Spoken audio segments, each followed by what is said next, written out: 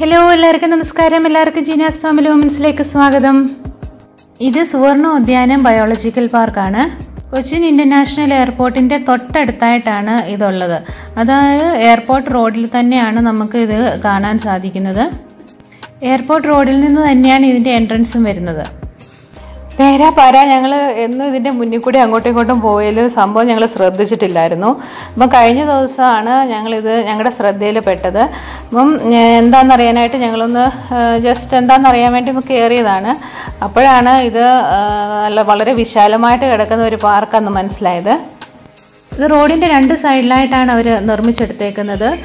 നമ്മൾ കയറി ചെല്ലുമ്പം തന്നെ പിന്നെ മുളകൾ ഇങ്ങനെ സൈഡിൽ രണ്ട് സൈഡിലും ഇങ്ങനെ നട്ടുപിടിപ്പിച്ചേക്കുന്നത് കാണാം. അതും ഒരേ ടൈപ്പ് മുളകളല്ല പലതരത്തിലുള്ള മുളകളാണ്. അവരതിന്റെയൊക്കെ പേരവിടെ എഴുതി വെച്ചിട്ടുണ്ട്. ഹൈവേന്ന് തൊട്ടടുത്താണെങ്കിലും ഇങ്ങോട്ട് കയറി കഴിയുമ്പോഴത്തേക്കിനും വേറെ ഒരു ഫീലാണ് നമുക്ക് കിട്ടുന്നത്. പൊതുവേ ഇപ്പം ആൾക്കാർ കുറവാണ്. എല്ലായിടത്തും ഉള്ളതുപോലെ തന്നെ എന്നെ കൊറോണ ആയതുകൊണ്ട് തന്നെ മെയിന്റനൻസും കാര്യങ്ങളും ഒക്കെ ഇത്തിരി ഇപ്പോൾ കുറവാണ്. എന്നാലും നമുക്ക് വൈകുന്നേരങ്ങളിൽ വന്നിരിക്കാനും ഒക്കെ നല്ല ഒരു ഇടമാണ് അതിനുള്ള എല്ലാ സൗകര്യങ്ങളും അവിടെയുണ്ട്. ഇപ്പം നടക്കാനുള്ള ആൾക്കാർക്കാണെങ്കിൽ തന്നെയും നടക്കാനായിട്ട് ഒരുപാട് പാത്വേസ് ഒക്കെ അവരവിടെ ചെയ്തു വെച്ചിട്ടുണ്ട്. കൂടുതലും അവിടെ കാണുന്നത് മുളകൾ തന്നെയാണ്. അതുകൊണ്ട് തന്നെ നല്ല തണലുമുണ്ട് മുളകൾ കൊണ്ടുള്ള കുറേ ഹട്ടുകളൊക്കെ അവരവിടെ ചെയ്തു വെച്ചിട്ടുണ്ട്. ഇത് ബോട്ട് സർവീസിന് വേണ്ടിയിട്ട് അവർ ചെയ്തിട്ടേക്കുന്നതാണ്. പക്ഷേ ഇപ്പം അതൊന്നും പ്രവർത്തിക്കുന്നില്ല. മഴയില്ല. അതുപോലെ തന്നെ കൊറോണ ആയത് കാരണം മെയിന്റനൻസ് ഒക്കെ വളരെ കുറവാണ്.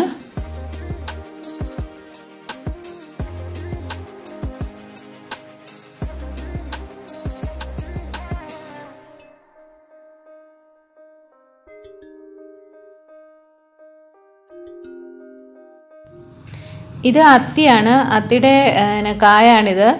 ഇപ്പോൾ നമ്മുടെ എല്ലായിടത്തും വളരെ സുപരിചിതമായ ഒരു മരമാണിത്.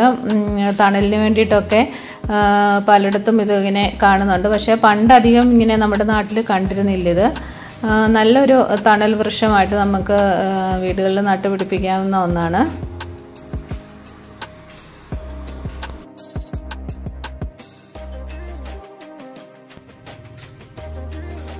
ഇത് ആ മുള തന്നെ ഇങ്ങനെ വളരെ വലുതായിട്ട് ഇങ്ങനെ വളർന്ന് പടർന്ന് ഇങ്ങനെ ഒരു കമാനം പോലെ അവർ ചെയ്ത് വെച്ചേക്കാണ്. നല്ല രസമാണ് ഇതൊക്കെ കാണാനായിട്ടും അതുവഴി ഇങ്ങനെ നടക്കാനായിട്ടും കാരണം വളരെ സൈലന്റ് ഏരിയ ആണ്. തൊട്ടടുത്ത് എയർപോർട്ടാണെന്നൊന്നും നമുക്ക് തോന്നത്തേ ഇല്ല. ഇതിന്റെ ഒരു സൈഡ് ഗോൾഫാണ് കേട്ടോ അത്. അതിന്റെ ബൗണ്ടറി ആയിട്ട് വരും ഇത്.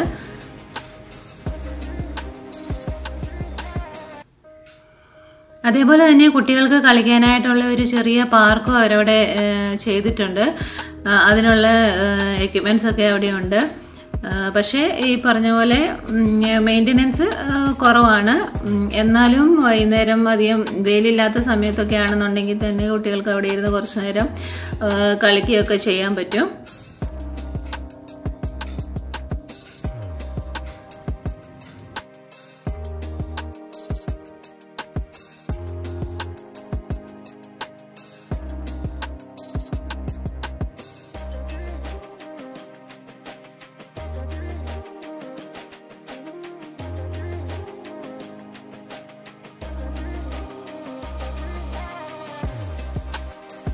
ഞാൻ നേരത്തെ പറഞ്ഞിരുന്നില്ലേ റോഡിന്റെ രണ്ട് ഭാഗമായിട്ടാണ് അവർ ഇത് ക്രമീകരിച്ചിരിക്കുന്നത്. ഇത് മറ്റേ ഭാഗമാണ്.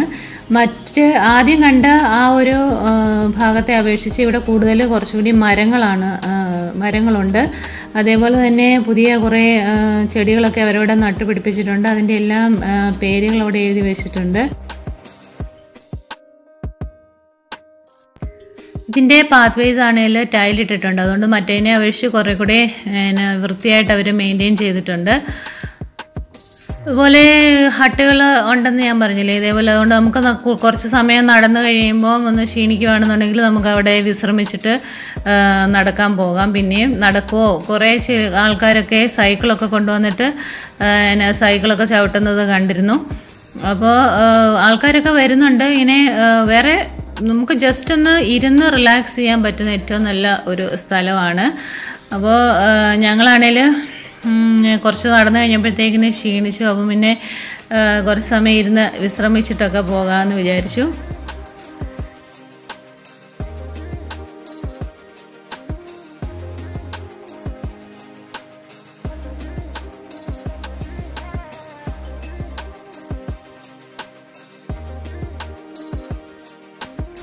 ഞങ്ങൾ കുറച്ച് സ്നാക്സ് ഒക്കെ കൊണ്ടാണ് വന്നത്. അതുകൊണ്ട് പിന്നെ എന്നാൽ നേരത്തെ സമയം വൈകുന്നേരം ആയിരുന്നു എന്നാൽ പിന്നെ നമുക്കത് അവിടെ ഇരുന്ന് കഴിക്കാമെന്ന് വിചാരിച്ചു. അപ്പം അങ്ങനെ ഇപ്പം പിള്ളേരും തളർന്നു എന്ന് പറഞ്ഞു. പക്ഷേ ഇവിടെ അടുത്തൊന്നും നമുക്ക് ഷോപ്പൊന്നും ഇല്ല കേട്ടോ. ഇതിന് ചുറ്റുവട്ടത്തൊന്നും ഇല്ല. അതുകൊണ്ട് നമ്മളിങ്ങനെ പോകുമ്പോൾ എന്തെങ്കിലുമൊക്കെ കയ്യിൽ കരുതിയിട്ട് പോവുകയാണെന്നുണ്ടെങ്കിൽ നമുക്കത് പെട്ടെന്ന് ക്ഷീണിക്കത്തില്ല. ഞങ്ങൾ കാപ്പിയൊക്കെ കൊണ്ടുവന്നിട്ടുണ്ടായിരുന്നു. അപ്പോൾ അതെല്ലാം ഞങ്ങൾ അവിടെ ഇരുന്ന് കുടിച്ച് വിശ്രമിച്ചുകൊണ്ട് ഇരിക്കുകയാണ്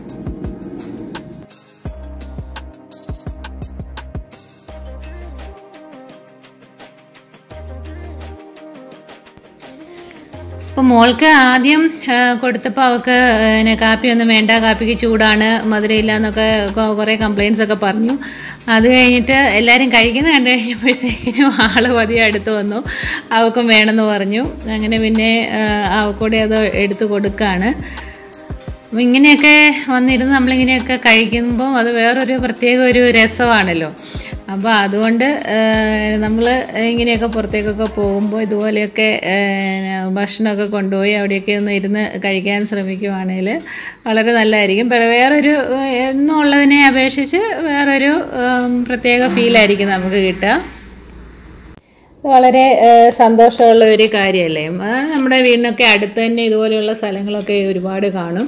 അപ്പോൾ അവിടെ പോവുക നമുക്ക് കുറച്ച് നേരം റെസ്റ്റ് എടുക്കുക അല്ലെങ്കിൽ ഒരു ചേഞ്ച് ആകുമല്ലോ?